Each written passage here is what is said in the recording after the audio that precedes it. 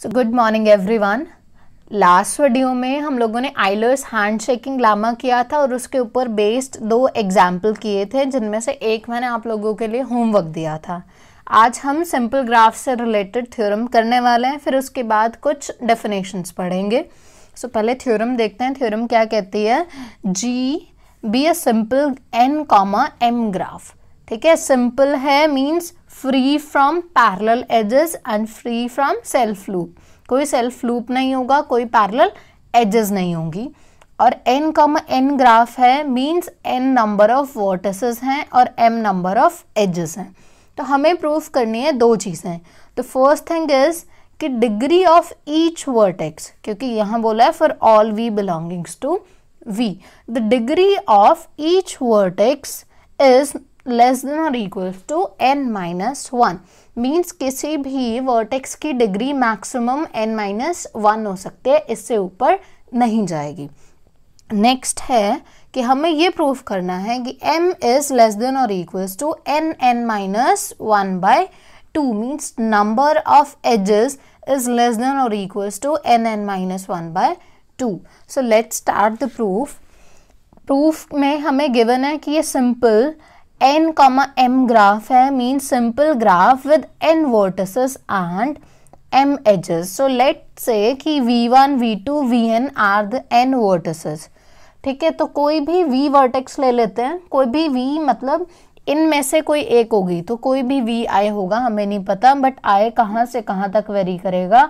I vary from one to n okay so v हमने कोई भी वर्टेक्स ली अब हम क्या करेंगे? कोई और वर्टेक्स लेते हैं जो कि इस वी आई के इक्वल नहीं है। मींस अगर मैंने एक बार वी टू ले लिया तो जो मुझे सेकंड वाली वर्टेक्स लेनी है, वो वी टू नहीं लेनी। वी टू के अलावा कुछ भी ले सकते हैं। वी टू के साथ आप वी वन ले सकते हो वी टू ले वी थ्री ले सकते हो टू नहीं लोगे। वी फोर ले सकते हो वी एन तक कोई भी ले सकते हो। But except that v two मतलब वी आई को छोड़ के कोई और वर्टेक्स वी जे लेनी है, इसलिए लिखा है j not equals to i तो जब आपने ऐसे डिफरेंट वर्टेक्स ली तो आप क्या मुझे ये बता सकते हो कि अगर मैं ये चेक करूँ कि इनके बीच में एक एज है, ठीक है सिंपल ग्राफ है तो ज़्यादा से ज़्यादा वी आई और वी जे के बीच में ज़्यादा से ज़्यादा एक ही एज हो सकती है, क्योंकि सिंपल ग्राफ है। वो वी आई से वी आई तक जाना अलाउड नहीं है। वी जे से वी जे तक भी जाना अलाउड नहीं है, क्योंकि वो सेल्फ लूप हो जाएगा। और अगर एक बना दी हमने तो दोबारा बनाना अलाउड नहीं है, क्योंकि वो फिर क्या हो जाएगी? पैरल एज और parallel edges are not allowed in simple graph तो ज़्यादा से ज़्यादा दो वर्टेक्स के बीच में एक एज हो सकती है, ठीक है? या तो एक एज होगी या फिर होगी ही नहीं। इसलिए लिखा है एटमोस्ट वन एज एक एक वर्ड का सिग्निफिकेंस है। ध्यान से एक एक वर्ड यूज़ करोगे, नहीं तो जो इतना सिंपल सी ग्राफ थ्योरी लग रही है ना, वो सारे मार्क्स ले जाएगी। So at most one edge between v and v j क्योंकि जी है free from parallel edges also G is from G is free from self loop G self loop से भी फ्री है तो कोई भी सेल्फ लूप भी नहीं होगा। अराउंड वी आई ये मैंने आप लोगों को दोनों लाइंस पहले ही बता दी। Thus, there are at most n minus 1 edges which are incident at Vi. देखो जब आपने बोला है कि सेल्फ लूप कोई हो नहीं सकता पैरेलल एजेस कोई हो नहीं सकती तो एक अगर मैंने ये पकड़ा कि V1 को एक वर्टेक्स ली ठीक है तो V1 मैक्सिमम कितनों के साथ एज बना सकती है V2 के साथ V3 के साथ V4 के साथ Vn के साथ ये सबसे बड़ी वाली पॉसिबिलिटी है कि वी वन ने सबके साथ एजेस बना ली। बट ये हमेशा ज़रूरी नहीं होगा तो मैक्सिमम कितनी एजेस वो फॉर्म करेगी? एन माइनस वन क्योंकि अगर उसने एन फॉर्म कर दिया तो फिर हमें वी वन भी इंक्लूड करना पड़ेगा but v one v one के साथ तो फॉर्म नहीं करेगी। तो क्या होगा? Maximum so at most n minus one edges होंगी, जो कि इंसिडेंट होंगी। वी आई के ऊपर और जितनी इंसिडेंट होती हैं edges that is called degree of that vertex so degree of V I is less than और equals to N minus one और ये था हमारा first part so this completes our first part अब सेकंड देखते हैं. सेकंड पार्ट के लिए हमें जो यूज़ करेंगे हम, वो करेंगे आइलर्स हैंड शेकिंग लामा उसने क्या बोला था आइलस हैंड शेकिंग लामा ने, कि sum of degree of all the vertices of a graph is two times the number of edges तो हमने वही यूज़ किया two M is equals to sum of degree of all the vertices so this is the statement of Euler's hand shaking lemma अब हमें given है, जो first part में हमने प्रूफ किया, कि degree of each vertex is less than और equals to N minus one तो हम क्या करें? यहाँ पे देखो कितनी वर्टिसेस हैं, ये हर वीक के लिए सम करना है तो कितनी वर्टिसेस हैं? वन से लेके एन तक। तो हमने समेशन लिख दिया वन से लेके एन तक। अब यहाँ पे इसकी वैल्यू सब्सिट्यूट करो। So this is less than और equals to N minus one so यही लिखा है लेस देन और equals to N minus one अब समेशन किसके ओवर है? आई के ओवर है। क्या यहाँ आई नज़र आ रहा है? नहीं, हमें आई नहीं नज़र आ रहा। तो जब आप यहाँ पे आई को वन पुट करोगे तो एन माइनस वन ही रहेगा ये। जब आप टू पुट करोगे तब भी एन माइनस वन ही आएगा।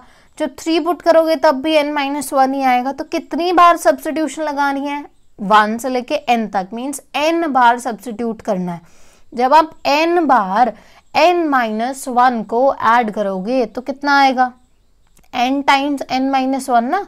क्योंकि ये क्या है? N minus one plus N minus one plus N minus one कितनी बार एन टाइम्स तो एन टाइम्स अगर आप किसी नंबर को ऐड करते हो तो मीन्स उसको एन से मल्टीप्लाई करा रहे हो ना? So this is N times N minus one अब तो कुछ बचा ही नहीं। तो ये क्या हो गया? हमारे पास आ गया two M is less than और equals to N minus one N N minus one sorry nn minus 1 so m is less than or equals to n n minus 1 by 2 and this completes our proof so your next definition is regular graph तो regular graph क्या होता है regular graph is a graph in which degree of all the vertices is same जिसमें हर vertex की degree same होती है for example these two graphs इन दोनों ग्राफ्स में आप चेक करो। देखो नंबरिंग दे लेते हैं। This is number one this is vertex two this is vertex three तो डिग्री फाइंड करो आप सारी वर्टेक्स की। Degree of V one degree of V two degree of V three तीनों चेक करो, कितनी आती हैं। फोर्स वर्टेक्स की डिग्री मींस इसने कितनी एजेस फॉर्म की हैं। एक ये वाली एज फॉर्म की और एक ये वाली। सो वी वन की डिग्री टू वी टू की चेक करो। इसने दो वर्टिसेस फॉर्म किए हैं एक ये वाली और एक ये वाली। सो so, इसकी डिग्री भी two then degree of V three V three की चेक करो तो ये और ये। तो इसकी डिग्री भी कितने आ गई? Two so this is a regular graph because degree of each vertex is equals to two एक और एग्ज़ाम्पल है इसमें भी आप चेक कर सकते हो। इसमें भी नंबर दे लो। वन टू थ्री और इसको ले लो फोर फाइव एंड सिक्स सबकी डिग्री अगर आप चेक करो तो हर वर्टेक्स की डिग्री यहाँ क्या बनेगी? D of V I is three है। यहाँ पे क्या है? हर वर्टेक्स की डिग्री कितनी है? थ्री आप चेक कर सकते हो। अगर वी फोर को देखें तो वन टू थ्री तीन वर्टेक्स बना रहा है, एक ये वाला, एक ये वाला, एक ये वाला। तीन एजेस बना रहा है तो इसकी डिग्री थ्री वी वन को चेक कर लो। वन टू और एक ऊपर थ्री, सब में आप किसी में भी चेक करके देख सकते हो, यहाँ पे सबकी डिग्री थ्री ही आएगी। नेक्स्ट इज़ कंप्लीट ग्राफ अब कंप्लीट ग्राफ क्या होता है? कंप्लीट ग्राफ होता है एक ऐसा ग्राफ जिसके अंदर आप कोई भी दो वर्टेक्स अगर लेते हो तो उनके बीच में एक यूनिक एज मिलेगी। ठीक है? हर दो वर्टेक्सेस के बीच में हमें हमेशा एक यूनिक एज मिलेगी। अगर वी आई वी जे दो वर्टिसेस हैं तो there exist a unique edge between V I and V J then we say that the graph is a complete graph इसका भी एग्ज़ाम्पल है graph one above is a complete graph आप check कर सकते हो कि यहाँ पे हर वर्टेक्स के बीच में एक यूनिक एज ही मिल रही है। बट जो ग्राफ टू है this graph two is not a complete graph क्यों? ज़रा ध्यान से देखना। फाइव और सिक्स के बीच में एक एज तो ये रही। ठीक है फाइव और सिक्स के बीच में एक एज ये रही और फाइव और सिक्स के बीच में एक एज ऐसे भी तो जा रही है, घूम के सिक्स से थ्री पे थ्री से टू टू पे फाइव तो यूनिक एज तो नहीं मिली ना, इन दो वर्टिसेस के बीच में सिर्फ़ एक ही एज पॉसिबल होनी चाहिए थी और यहाँ पे दो पॉसिबल हो रही हैं। So this graph is not a complete graph एक और एग्ज़ाम्पल देख लेते हैं कंप्लीट ग्राफ का। ये वाला जो ग्राफ है, ये ग्राफ भी कैसा है? This graph is also complete graph आप चेक करो, किसी भी वर्टेक्स किसी भी दो वर्टेक्स को पिक करो, उनके बीच में आपको एज भी मिलेगी और यूनिक एज मिलेगी। अब एक एक्सरसाइज देखते हैं। Simple graph simple complete graph ठीक है? अब ध्यान रखना है कि ये सिंपल भी है और ये कंप्लीट भी है। मींस ना तो कोई सेल्फ लूप मिलेगा, ना कोई पैरेलल एज मिलेगी और हर दो वर्टिसेस के बीच में एक यूनिक एज मिलेगी। Of N vertices has N N minus one by two edges जब हमने सिंपल ग्राफ पढ़ा था, तब पढ़ा था कि number of edges is less than और equals to N N minus one by two अगर वो सिंपल के साथ कंप्लीट भी हो जाता है तो ये इनइक्वलिटी इक्वलिटी में कन्वर्ट हो जाती है। ये हमें प्रूफ करना है तो प्रूफ देखते हैं। जी क्या है? एक सिंपल कंप्लीट ग्राफ है। सो लेट से कि order of V is N means N vertices है and order of E is M means M edges है। तो अगर एन वर्टिसेस हैं तो let say V one V two V N अब graph simple तो है। अगर ग्राफ सिंपल है तो हमें क्या पता है कि हमारे पास जो number of vertices sorry number of edges होती हैं वो क्या होती हैं? टू सॉरी उल्टा बोल रही हूँ। Sum of degree of vertices is equals to two times the the number of edges यही होता है। सो so, ये हमने लिख दिया। अब कोई भी हमने एक वर्टेक्स पिक की वी अब क्योंकि ये कंप्लीट ग्राफ है तो अगर एक वर्टेक्स पिक की है तो हमें एक और वर्टेक्स मिलेगी और उन दोनों के बीच में एक एज मिलेगी। तो एक और वर्टेक्स लेते हैं वीजे और इनके बीच में एक एज मिलेगी। Since G is free from parallel edges in self loop क्योंकि वो सिंपल है तो हमें जो आ, किसी भी वर्टेक्स के साथ जो हमने पढ़ा था जब सिंपल ग्राफ था तो हम पढ़ते हैं कि maximum N minus one edges वो बना सकता है। यही पढ़ा था ना degree of V I is less than और equals to N minus one last theorem का फ़र्स्ट पार्ट यही था। बट अब हमें गिवन है कि ये सिंपल तो है बट साथ में ये कंप्लीट भी है। मीन्स हर वर्टेक्स के बीच में एज आएगी ही आएगी। मीन्स अगर वी वन एक मैंने लिया है वी वन ही ले लो वी आई मत लो वी वन लो तो इसके अंदर जितनी भी और वर्टिसेस हैं वी टू से लेके वी एन तक ये सबके साथ एजेस बनाएगा और यूनिक एज बनाएगा। सो दैट मीन्स कितनी वर्टिसेस आएँगी? टोटल कितनी एजेस आएँगी? N minus one so this has exactly N minus one edges between V I and V J so हमने लिखा there are exactly N minus one edges which are incident at V I so degree of V I N minus one के equal हो जाएगी। Is that clear अब आगे तो कुछ भी नहीं करना, सिर्फ़ समीशन लगाना है, जैसे हमने पहले किया था। यही था ना फॉर्मूला ये हमने किया था ना कि two M is equals to I varies from one to N D of V I यही दिया था हमें आईलेस हैंड शेकिंग लमा तो वहाँ पे अप्लाई करो डी ऑफ़ वी आई के प्लेस पे क्या डालना है? N minus one N minus one को जब आप एन टाइम्स ऐड करोगे तो N times N minus one मिलेगा। तो ये क्या आ गया? हाँ इस टू को इधर भेज दो तो M is equals to N N minus one by two ठीक है? सो ये थ्योरम हो गई प्रूफ अब कुछ और डेफिनेशन जल्दी जल्दी देख लेते हैं। एक हमारे पास होता है नल ग्राफ अब ये नल ग्राफ क्या चीज़ होती है? नल ग्राफ क्या होता है? G is called a null graph if edge set is empty means ऐसा ग्राफ जिसके पास वर्टिसेस तो होंगी बट कोई भी एज नहीं होगी। ठीक है? तो ये V1 है V2 है V3 है, ये सिर्फ़ एजेस ही हैं यहाँ पे पड़ी हुई हैं। इन सॉरी वर्टिसेस ही हैं जो यहाँ पड़ी हैं। इनके बीच में कोई भी एज फॉर्म नहीं हो रही। So this is a null graph next is subgraph क्या होता है? सब ग्राफ क्या होगा? देखो, अगर मैंने जी कोई ग्राफ लिया, ठीक है, जिसके अंदर V और E हमारा, ये वर्टेक्स का सेट है, ये एज का सेट है। तो इससे छोटा, ठीक है सब ग्राफ मीन्स इससे छोटा बट वो ग्राफ होना चाहिए। तो मीन्स हमें क्या करना है?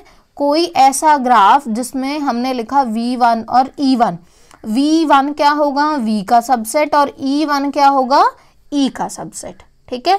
सो ऐसा ग्राफ जिसमें v1 one is a subset of v and e1 one is a subset of e और एक और चीज़ कि जो एज ठीक है, जो एज की एंड वर्टिसेस इस ग्राफ के अंदर थी। मींस अगर कोई वर्टेक्स V1 है और उसके एंड वर्टिसेस X और Y थे, किसके अंदर? G के अंदर।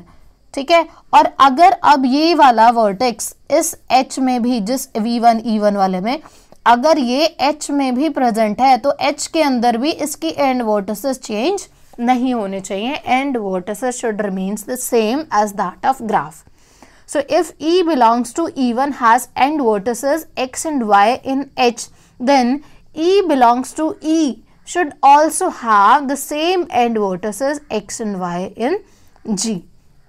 तो देखो जैसे ये है ये एक ग्राफ है इस ग्राफ का सब ग्राफ ये बनेगा क्यों क्योंकि देखो इसके अंदर कौन कौन वर्टिसेस हैं let's say this is one two three four five and six कुछ गलत किया? ओ फाइव ने, ये फाइव तो यहाँ आएगा। So this is one two three four and five तो इनमें से वन टू और फाइव यहाँ पे प्रेजेंट है। So means this vote V one is a subset of V और जो एजेस हैं, देखो वी वन और फाइव के बीच में जो एज थी, अभी भी वही एज है, उन्हीं वर्टिसेस से फॉर्म हो रही है। तो एजेस भी हमने डिस्टर्ब नहीं की और वर्टिसेस ले ली तो सेम सिर्फ़ उठा के सेम एज इट इज़ उसका कुछ पोर्शन निकाल लेना होता है। तो हमारी एजेस भी डिस्टर्ब नहीं होती एजेस के एंड पॉइंट सेम हो जाते हैं और वो सबसेट बन जाते हैं। सो ई वन ई का सबसेट है वी वन वी का सबसेट है और एजेस के एंड पॉइंट सेम है। सो दिस इज़ अ सब ग्राफ अब दो डेफिनेशन और रिमार्क बस। इसके बाद हमारा खत्म है आज का लेक्चर सो so, जी क्या है? कोई भी ग्राफ है और ये उसका कोई सब ग्राफ है। हमने दो सब ग्राफ्स लिए हैं। एक एच वन लिया और एक एच टू लिया। अब दो सब ग्राफ से हम क्या करने वाले हैं? इन दो सब ग्राफ्स को हम हमारे पास दो टर्म्स हैं। एक है वर्टेक्स डिसजॉइंट ग्राफ और एक है एज डिसजॉइंट ग्राफ सो इन दो ग्राफ्स को H1 और H2 को हम कब बोलेंगे कि ये वर्टेक्स डिसजॉइंट है और कब बोलेंगे कि ये एज डिसजॉइंट है? ये पढ़ना है। So H1 and H2 are called vertex disjoint graph if intersection of V1 and V2 is empty. Means अगर जो दोनों सब ग्राफ्स के सेट वर्टेक्स सेट हैं वो डिसजॉइंट अगर हो जाते हैं ना जब इंटरसेक्शन दो सेट्स की एम्प्टी आती है तो हम इनको क्या बोलते हैं? हम उनको बोलते हैं कि वो क्या है? डिसजॉइंट है। सो so, वर्टेक्स का सेट डिसजॉइंट होना चाहिए अगर आप बोलना चाहते हो वर्टेक्स डिसजॉइंट ग्राफ सिमिलरली अगर आप एज डिसजॉइंट ग्राफ बोलना चाहते हो तो जो एज सेट है, वो डिसजॉइंट होने चाहिए आपस में। तब हम बोलेंगे कि ये एज डिसजॉइंट है। अब आपको दो चीज़ें पढ़नी है। एक तो हमें यह पढ़ना है कि अगर कोई भी ग्राफ वर्टेक्स डिसजॉइंट है तो वो एज डिसजॉइंट ऑटोमेटिकली हो जाते हैं। मीन्स हर वर्टेक्स डिसजॉइंट ग्राफ कैसा होता है एज डिसजॉइंट ग्राफ भी होता है। और फिर इसका कन्वर्स देखना है कि क्या वो ट्रू होगा। तो देखते हैं पहले एच वन और एच टू हमने दो वर्टेक्स डिसजॉइंट ग्राफ ले लिए। ठीक है, दो वर्टेक्स डिसजॉइंट सब ग्राफ्स ले लिए किसी जी के तो इन दोनों में जो इंटरसेक्शन होगी V1 और V2 की, वो क्या आएगी? फाइव क्योंकि ये डिसजॉइंट होने चाहिए वर्टिसेस और हम ये प्रूफ करना चाह रहे हैं कि ये एज डिसजॉइंट भी होंगे। मीन्स हम लोग प्रूफ करना चाह रहे हैं कि ई वन और ई टू की इंटरसेक्शन भी फाइव आएगी। तो बट हम लेके चलते हैं कि नॉट इक्वल्स टू फाइव अब नॉट इक्वल्स टू फाइव तो कोई एलिमेंट मिलेगा। एलिमेंट मीन्स एज मिलेगी तो कोई एज मिल रही है, जो ई वन में भी और ई टू में भी है। So E belongs to E one and E belongs to E two so अगर एज है तो उसके एंड वर्टिसेस भी होंगे तो एक्स वन वाई वन अब क्योंकि एज है तो एज के एंड वर्टिसेस इसके होंगे एक्स टू और वाई टू ठीक है, ये एच वन में ले लिया और ये एच टू में ले लिए। अब है तो ये ई e ही ना? So E is equals to X one Y one और E is equals to X two Y two so ये दोनों जो है अनऑर्डर्ड पेयर ये दोनों भी इक्वल होंगे। So X one Y one equals to X two Y two तो ये दोनों सेम हो गए मीन्स ये दोनों वर्टिसेस इन दोनों के इंटरसेक्शन में चली जाएँगी ना? तो इंटरसेक्शन में अगर चली गई तो इन दोनों की इंटरसेक्शन तो कैसी हो गई? नॉट इक्वल्स टू फाइव हो गई। अगर intersection not equals to five हो गई तो ये तो कॉन्ट्राडिक्ट करेगा वर्टेक्स डिसजॉइंट ग्राफ की डेफिनेशन को। सो so, जो हमने सपोज़ किया है कि ये नॉन एम्प्टी है ये गलत है ये भी क्या होगा? फाइव होगा। तो वर्टेक्स डिसजॉइंट ग्राफ हमेशा एज डिसजॉइंट बनेगा ही बनेगा। अब आ जाओ कन्वर्स पे। बट कन्वर्स ट्रू नहीं है। मीन्स अगर हमारा एज सेट में कुछ कॉमन नहीं है तो ऐसा ज़रूरी नहीं कि वर्टेक्स सेट में भी कुछ कॉमन ना आए। उसके लिए एक एग्ज़ाम्पल देखते हैं। ये हमारा ग्राफ लिया हमने। ठीक है, इसके दो सब ग्राफ्स लेने थे। सो एक सब ग्राफ हमने ले लिया V one V two V three से फॉर्म हुआ हुआ। और एक और सब ग्राफ ले लेते हैं एच टू ठीक है एच टू हम कुछ ऐसे ले लेते हैं जिसमें कुछ कॉमन आ जाए वी टू और वी थ्री ठीक है तो मैंने क्या किया? ऐसे ऐसे ऐसे। सिर्फ़ इतना। यहाँ पे है वी टू यहाँ पे है वी थ्री यहाँ पे है वी फाइव और यहाँ पे है वी फोर तो ये है एच टू इन दोनों में क्या कोई एज कॉमन है? अब ध्यान से देखो, कोई एज कॉमन है? नहीं है। इन दोनों में कोई भी एज कॉमन नहीं है। बट क्या दोनों में वर्टेक्स कॉमन है? यस वर्टेक्स कॉमन है कौन? वी टू और V three so E one intersection E two is equal to five so this means this graph is edge disjoint but V one intersection V two is not equal to five so this implies every edge disjoint subgraph need not be vertex disjoint so that's all for today next lecture में हम इसे आगे continue करेंगे